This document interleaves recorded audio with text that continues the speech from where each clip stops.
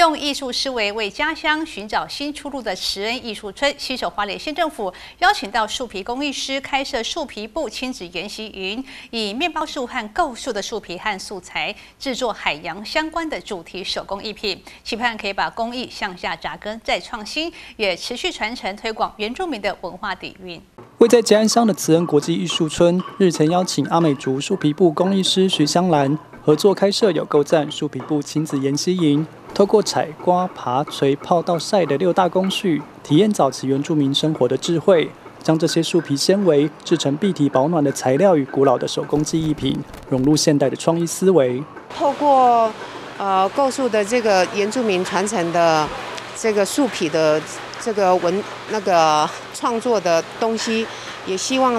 让更多家长还有小孩子。知道我们台湾原住民在地的文化，所以用不同的方式来做呈现。那目前我让他们采集两种啊，一种是面包树，我们随地都看得到的；还有就是构树，然后用画作的方式来粘贴不同的、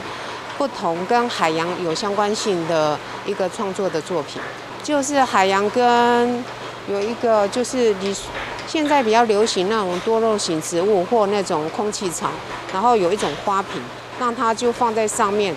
就是让你自己在你的空间上会有一种不同的视觉感官。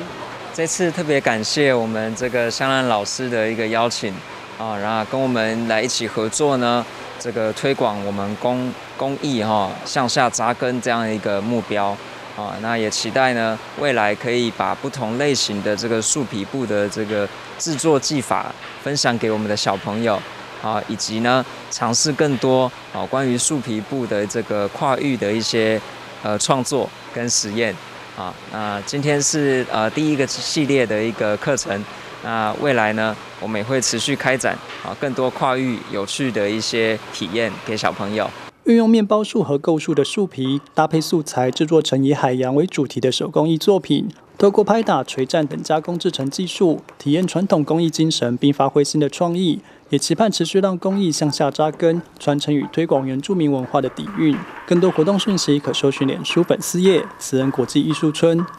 记者蒋邦彦、简恩昌报道。